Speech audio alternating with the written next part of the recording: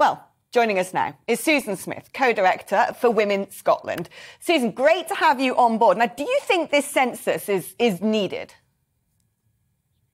No, not in the way that it's been set up. Um, to be very clear, what we are talking about is not sex education, and it's not um, looking at where the um, harms to children come from. It's a piece of paper that has just been set down in front of kids. They're asked to tick all these boxes. There's no support behind it. There's a lack of information on the purpose, and there's a lack of information on the follow up because, on the one hand, the government is trying to claim it's confidential, but the um, children are supposed to put in their unique um, uh, candidate number so that it all can be traced back to them. The government says that's in case of abuse, but we don't even know what they're characterizing as abuse within this survey.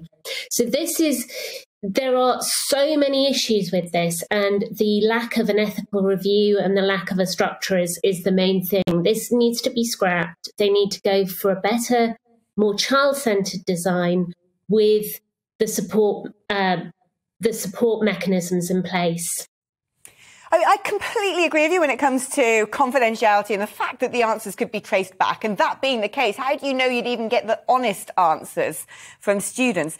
But do you see that there needs to be some sort of survey that we can finally measure the impact of hypersexualization of society, the pornification of society is having on young people? Because the odd surveys done here and there, social surveys in newspaper, reveal astonishing results. We know that there's rape culture going on on in schools. You just have to look at pop music videos to see how much and how rapidly things have changed. And surely it's about time we did ask about the sex lives of teenagers to find out if they need our protection.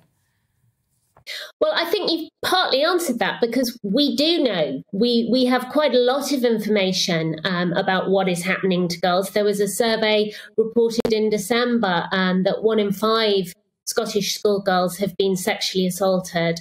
Um, three in five have faced harassment.